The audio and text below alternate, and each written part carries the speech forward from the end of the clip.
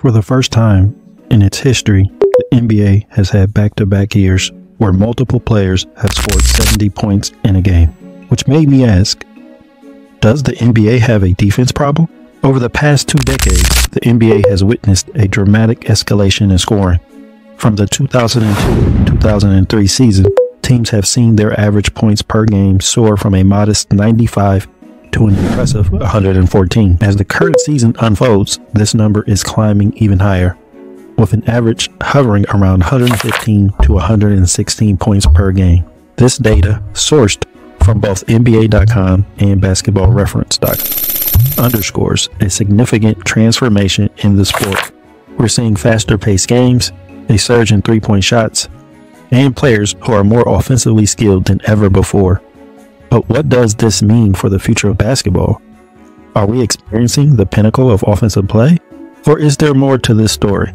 In this video, we'll dive into the trends, rule changes, and strategies that have elevated scoring in the NBA, potentially favoring offense over defense. We'll examine how these elements have shaped the game we love today.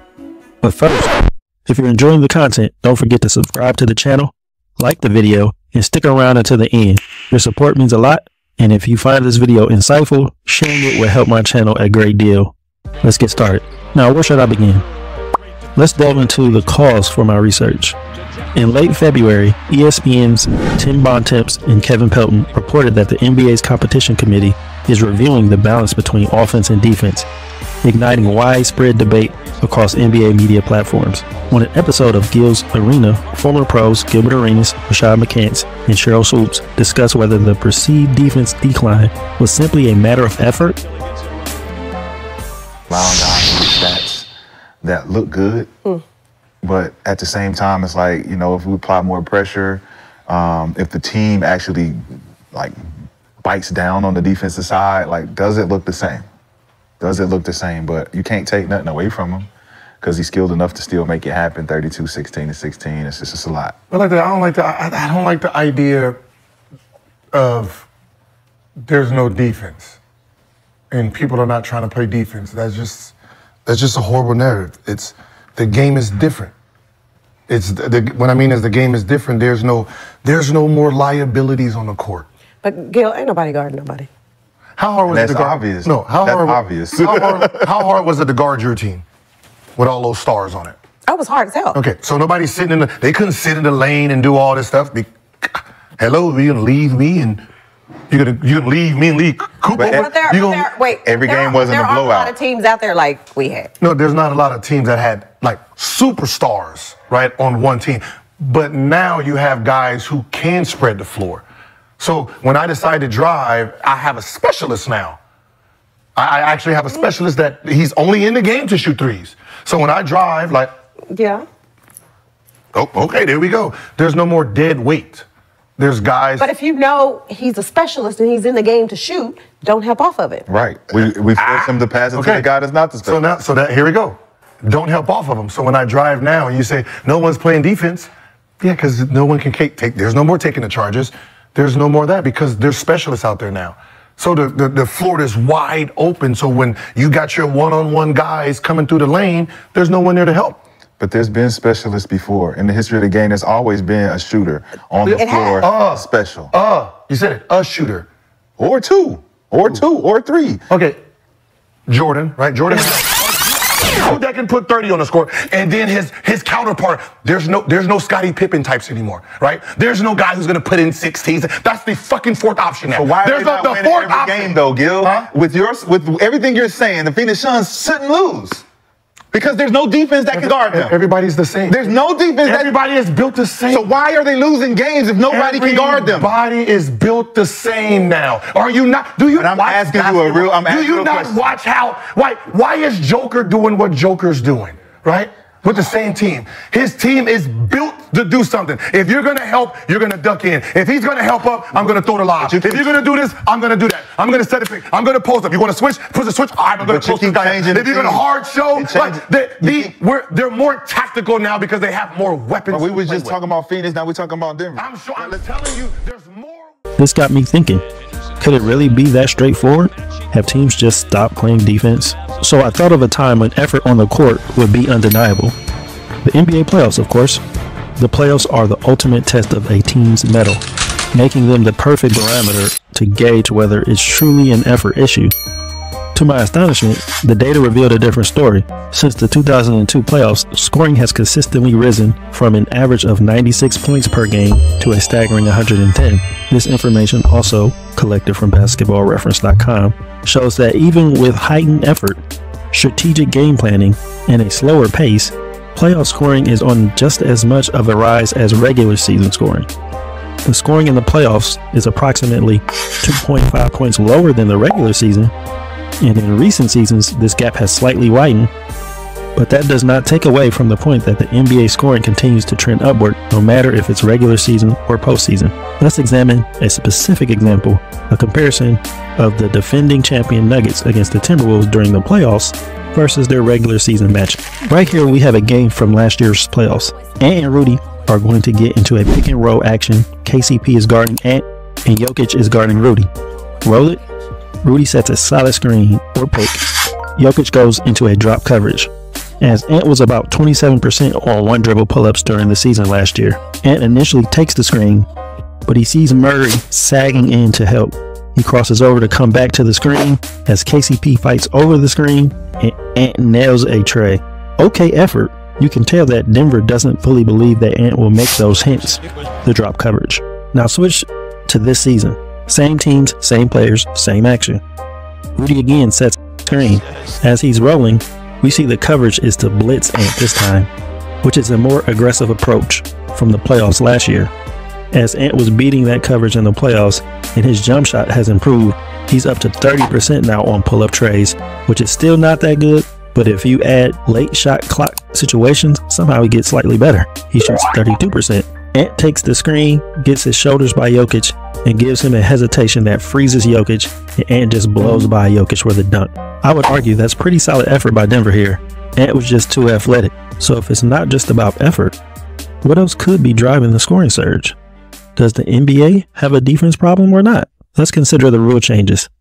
Back in the 2001 2002 season, the NBA transitioned from illegal defense rule, which prohibited zone defenses and required defenders to actively guard someone in the paint, to the defensive three second rule. This new rule allowed zone defenses, unlike its predecessor, but it still required defenders to dance in and out of the paint every three seconds to avoid a violation. Interestingly, the change was meant to aid defenses. In the same breath, the NBA reduced the backcourt violation time from 10 to 8 seconds compelling teams to advance the ball more quickly and inadvertently boosting the game's pace and scoring. A few years down the line, the NBA abolished hand checking, aiming to ramp up scoring. This was a response to the 2003 finals, which not only had some of the lowest scoring in the decade, but also suffered from the lowest TV ratings, a mere 9.29 million viewers according to Nielsen. The immediate effect? Scoring jumped about 4 points, from 93 to 97 and playoff games saw an almost 10 point increase from 88 to 97, as reported by basketballreference.com. That was the most significant leap post hand checking ban. From then on, scoring stabilized, fluctuating between 97 to 100 until 2015. While many attribute the rise in NBA scoring to the end of hand checking, it was just a catalyst, not the sole driver of today's average scores reaching 115 points. Let's pivot to the 2017 2018 seasons. Rule changes, which reshaped the game's tempo, the restructuring of timeouts is a case in point. Teams retained their seven timeouts, but their duration was cut to 75 seconds each, phasing out the longer 90 second breaks and the misleading 20 second timeout, which was actually about a minute. This prevented teams from stockpiling timeouts for the final quarter, ensuring just four timeouts in the fourth and only two in the last three minutes. The result, a more fluid in-game and increased overall playtime. Moreover, the NBA's decision to reset the shot clock to 14 seconds after offensive rebounds instead of the full 24 significantly upped the game's pace and possession. The pace leaped from the mid to high 90s to 100 the following season, and scoring jumped from 106 to 111 points per game, a notable 5 point increase. These changes paint a clear picture. The past decade's rules were designed to boost the game's watchability by accelerating the pace. But here's the twist these changes don't fully explain the defensive side of the equation. Scoring is up, but so is shooting efficiency. Teams' field goal percentages have surged from 44% from the field and 35% from beyond the arc in the early 2000s to nearly 50% and 40% respectively. What's behind the sharpshooting success? Stay tuned as we delve deeper into the mystery of does the NBA have a defense problem? You might have noticed me skipping over the years 2015 to 2018 while discussing rule changes and scoring. This isn't an oversight. It's a prelude to discussing another critical factor that's reshaping defense and inflating scoring, and that's trends. The 2014-15 season marked a pivotal moment with LeBron James's return to the Cleveland Cavalier. Alongside Kyrie Irving and Kevin Love, this trio transformed Cleveland into a formidable force. Love's three-point shooting, in particular, added a new dimension to the offense, providing space for LeBron and Kyrie to maneuver and score. Love's role was crucial, not just for his shooting efficiency, but also for the volume of threes he attempted. Prior to joining Cleveland, he was second in the league for three point attempts among big men, averaging just over six and a half per game, trailing only behind Ryan Anderson, whom Ryan only trailed the legendary Steph Curry in the entire league. With a 38% success rate from beyond the arc, Love and Anderson was a trailblazer for big men shooters, being the only two big men to be in the top 50 in three point attempts that year. Fast forward to the current season, and the number of big men in the top 50 for three point attempts has quadrupled, each launching well over six threes a game. This evolution has led to more teams to be like the Cavs and Ryan Anderson's New Orleans Pelicans to adopt spacing focused offensive strategies, such as four out, one in, or five out sets. This approach has stretched traditional defenses, prompting teams to field smaller players capable of perimeter defense but leaving the paint exposed. Starting in 2015, big men's three point attempts rose from barely one per game at a 23% success rate. Today, they're shooting about three threes per game and making at least one at a 32% rate. While not stellar, it's a significant improvement. Let's examine the ripple effects this trend has on defensive strategies. Let's return to a game from the 2014-15 season where the Cleveland Cavaliers face off against the Detroit Pistons. The Cavs are set up in a four out, one in formation. Mozgov, the big man inside, joins Kevin Love, Kyrie Irving, and LeBron James around the arc. Mozgov and J.R. Smith initiate a 2-5 pick and roll, moving help side. Detroit's lineup includes guards KCP, Jackson, forwards Prince and Monroe, and center Drummond. As the play unfolds, we see Jackson slide over to help, leaving Drummond and Monroe isolated. Needing to make the correct defensive read, Prince can afford to leave LeBron James unattended. As the action continues, Drummond opts for drop coverage. JR cleverly snakes across the lane, engaging Monroe. Monroe reacts as any big man would, sagging into the paint to protect the rim. However, this leaves him vulnerable to what comes next. Pause here. JR spots Monroe out of position to defend the three. Only a foot out of the paint, he lacks the speed to contest Kevin Love's impeding three pointer. Resume the play, and we witness Monroe's belated attempt to close out, only to get his eyes dotted as he lumbers out to contest. Fast forward to this season, featuring a clash between OKC and the Celtics, both top contenders in their conferences. With shooting big men now commonplace, you'd expect defenses to adapt. OKC sets up a high pick and roll, starting in a 4 in 1 out but transitioning to a 5 out, eliminating help side options. Only Boston Center can realistically assist SGA. The lineup is crucial here. OKC boasts top shooters at every position. With Dort and SGA in the guard spots, SGA, the mid range maestro, shoots 50% from that range and just under 40% from deep. Similar to Dort, Giddey, positioned in the weak side, is more lethal than his 34% catch and shoot average suggests, hitting 40% specifically from the left side. J Will occupies the dunker spot, drawing Boston's formidable defender White, who can't afford to leave OKC's most versatile shooter. Then there's Chet, the big man dilemma, shooting 40% on above the break threes, which he opts for instead of rolling. As the play rolls, Boston faces a tough choice concede an SGA mid range shot or a Chet three pointer. Tatum works to get over the screen. SGA is pressuring Porzingis to decide. Porzingis drops back, and in today's NBA, help is scarce defenders are reluctant to leave their assignments. Even if they do, the positioning of OKC's players in the corners makes it nearly impossible to contest an above the break three by a seven footer, no less. If help arrives, it's likely too short to challenge Chet's shot effectively. The defense only options are for Porzingis to show and stick with Chet or to switch. But both choices have drawbacks. A switch leaves the paint open for SGA, an assassin and MVP candidate, guaranteeing a score, or it forces Porzingis, who lacks lateral quickness, to guard SGA, a classic catch-22. As the play concludes, the inevitable occurs. Chet sinks the three with Porzingis two feet in the paint. This evolving dilemma is reflected in the increasing distances NBA players traveling during games, as tracked by NBA.com. In the 2013-14 season, big men were traveling just under one and a half miles per game, while guards were slightly above that threshold. Fast forward to today, and guards are running close to two miles each game, with big men not far behind, often surpassing the one and a half mark and nearing two miles themselves. This uptick in distance covered translates to greater fatigue, and when players who aren't naturally defensive specialists become tired, the first aspect of their game to suffer is unfortunately defense. Shooting big men aren't the only trend shaping the NBA. On the West Coast, while the Cavs were revolutionizing the game with their sharpshooting bigs, the Warriors were pioneering their own strategy and eventual trend, small ball. Their famed death lineup, Andre Iguodala, Steph Curry, Klay Thompson, Draymond Green, and Harrison Barnes, boasted a net rating of plus 40, Wow. despite Harrison Barnes being their tallest at 6 foot 8. This lineup achieved an astounding defensive rating of 94.9 and an offensive rating of 135.1 according to NBA.com.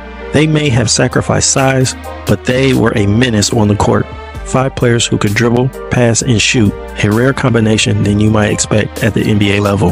This lineup propelled the Golden State Warriors to the best record in NBA history, 73 and 9. It presented a defensive conundrum for opponents, seemingly without any weaknesses. The secret?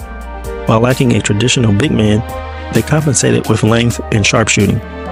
The average height was about 6 foot 5 while shooting 53% from the 3 and 60% from the floor. But the Warriors weren't the originators of small ball. Many teams had experimented with this approach, including the We Believe Warriors of the 2006-2007 season, who, with a lineup of two guards and all forwards, Baron Davis, Monta Ellis, Jason Richardson, Stephen Jackson, and Al Harrington, upset the number one seeded Dallas Mavericks in the playoffs. Yet none executed small ball better than the eventual NBA champion Warriors' upgraded death lineup, with Andre Iguodala, Steph Curry, Klay Thompson, Draymond Green, and Kevin Durant, who joined the 73 and 9 Warriors after their finals loss to the Cavaliers. This lineup boasted a plus 23 net rating in the playoffs Wow. and went on to win two championships. Let's examine all three iterations and see how they turned the hardwood into a nightmare for opposing teams and defenses. Starting with the We Believe Warriors first. Crunch time, about 30 seconds left. Baron Davis brings the ball up the court, flanked by Stephen Jackson, Matt Barnes, and Jason Richardson. Andris Biedrins, the lone big man. The Mavericks adapting to the situation have also gone small with Harris, Howard as the sole big man, Jason Terry, and Jerry Stackhouse. With BD heating up, the Mavs double him as soon as he crosses half court. He quickly shovels it past to Jackson. Jackson probes, seeking an opening against the shorter Terry. Meanwhile, Biedrins cuts baseline. Howard momentarily follows, but then peels off to help elsewhere. In traditional offensive lineup, this might be fine, as the guards would be covered, and the weak corner would typically house two big men, but not in this case. A true center, who hasn't attempted a three all year this year, is the only big man on the floor, creating an overload on the weak side with all wing players. Howard's decision to leave his man opens up a vulnerability since Dirk can't cover both Biedrins and Barnes, given that Barnes is a shooter and not another big man who would not be a threat from behind the arc. Howard's choice ultimately cost him the game. Jackson, realizing Howard is guarding no one, finds his all the smoke co-host Matt Barnes after Biedrins sets a timely pin down screen on Dirk. Barnes capitalizes with a dagger three-pointer. Next, we have the original death lineup of the Warriors versus the Clippers. The Clippers are running a more traditional lineup with Redick and CP3 as guards, Rivers on the wing, and Blake and Jordan holding down the power forward and center positions. Iggy and Steph execute a side dribble handoff. CP3 trails, and Blake is the one ball defender. Iggy rolls to the hoop, drawing Blake, while Draymond sets a secondary screen on CP3. Notably, Iggy, who would be a traditional power forward like Karl Malone or Tim Duncan, opts for a V cut to the arc instead of rolling to the basket, which would typically draw Blake's help. But Iggy's shooting ability and athleticism mean Blake can't afford to help too much with him opting to veer towards the three instead of the basket. Draymond at 6'6, screen CP3, freeing up Curry for a look. And Curry doesn't need much space. As Draymond rolls, Jordan should ideally step up and blitz Curry, but doing so would trigger a chain reaction ripple effect. As it results, Curry nails a deep trey. This brings us to the upgraded def lineup, with KD illustrating said ripple effect in a game against the Timberwolves, coached by the defensively astute Thibs. The Warriors run a similar play. Gibson does what Jordan should have done in the previous clip, blitzing Curry on the pick and roll. Curry, ever the sharpshooter, instantly makes the smart pass to a rolling Draymond, Draymond spots the defender setting up for a charge and whips a cross-court pass to Klay Thompson, arguably the second best shooter in history. Wiggins makes a valiant effort to close out on Klay, but it's too late. The other big man in this lineup is Kevin Durant, one of the greatest scorers ever. His defender, Cat Karl-Anthony Towns, is in the restricted area and has to traverse half the court to contest KD's shot. All this chaos stems from a single side screen and roll showcasing the Warriors lineup full of guards or bigs with wing-like skills, that being KD.